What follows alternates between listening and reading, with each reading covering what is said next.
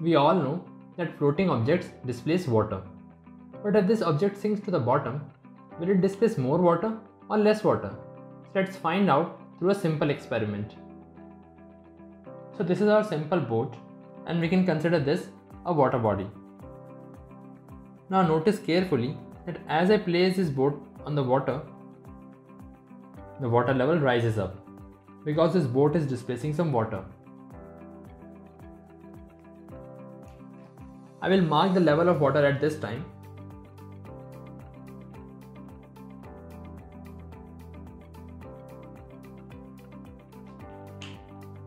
Now think about it. If this boat sinks to the bottom, will the water level rise up or go down?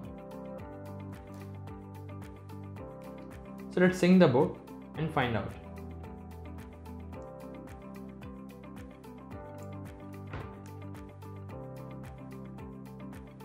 Notice carefully that the level of water has gone down.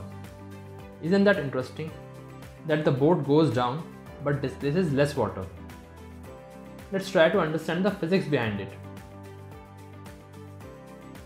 We can understand this through buoyant force. So let's consider boat 1. We know that the amount of buoyant force experienced by this boat will depend on how much water it displaces. Since this boat is floating, the buoyant force on this boat will exactly balance the weight of this boat.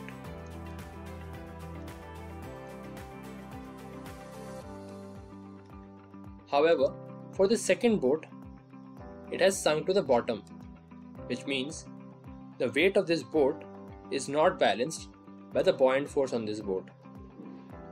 So we will draw a shorter arrow. This tells us that second boat is displacing less water than first boat. There is also an intuitive way to understand this. Consider boat 1. Not only the body of this boat, but also the air inside this boat is displacing the water. But when the boat is sunk to the ground, the air is displaced by water. This means only the body of the boat is displacing water. This is how boat 1 displaces more water than boat 2.